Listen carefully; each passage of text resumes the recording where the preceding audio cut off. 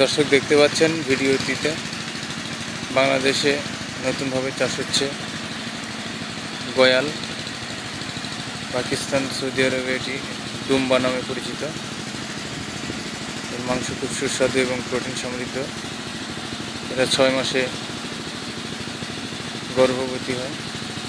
ছয় মাসে দুই থেকে চারটি বাচ্চা প্রদান করে।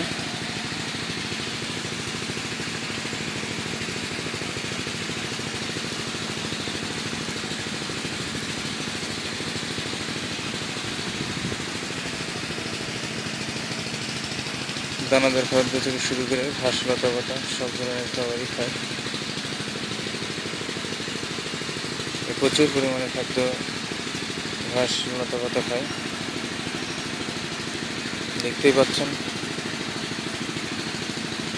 খেলার মাঠে এখন এরা ঘাস খাচ্ছে, পায়ে দৌড়ানো, মাটি টাটি ভরা সেই সকল ঘাস। নোংরা অবস্থায় তারপরেও এরা খায়। ছাগলের চেয়ে এদেরকে অনেক সুবিধা মতো পালা যায়।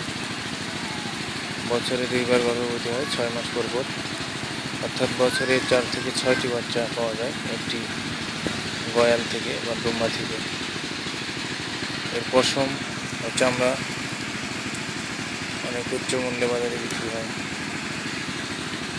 আপনারা যে কেউ ইচ্ছে করলে এই গয়াল বা ডুম্বা খুঁজতে পারেন। গয়াল বা ডুম্বা খুঁজতে চাইলে আমাদের সাথে যোগাযোগ আমাদের যোগাযোগের জন্য আমাদের ফোন নাম্বারে কল করুন এবং বিস্তারিত তথ্য সম্ভব তথ্য জানান।